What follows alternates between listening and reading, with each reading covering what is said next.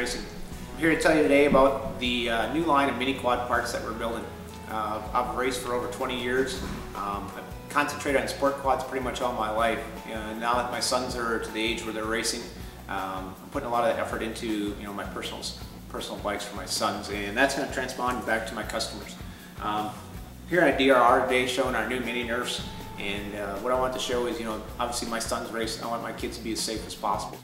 We want to keep our foot pegs and our Nerf bars so they're simple to bolt on for our customers. We have brackets that once you remove your heel guards, your stock heel pockets, they bolt on a front here, here, and then they also bolt in the back uh, with a billet clamp.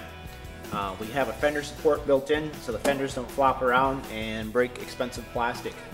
We actually use the same stainless steel foot peg that we use on our large bikes um, to give the riders more movement and keep their feet planted on the, on the foot pegs where they belong. We have a large Nerf bar, the big kick up to keep the kids from climbing on top of each other on the hole shots to keep them safe.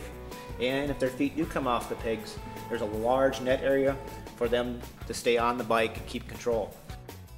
More and more the, the riders are using the bigger tires than the traditional Snowhawks that were out there originally. We incorporate enough clearance there so we don't have tire rub ever. Our new Mini Signature Series Nerfs are also released for the Cobras, the Apexes, the JB mods, and the DRRs like we discussed.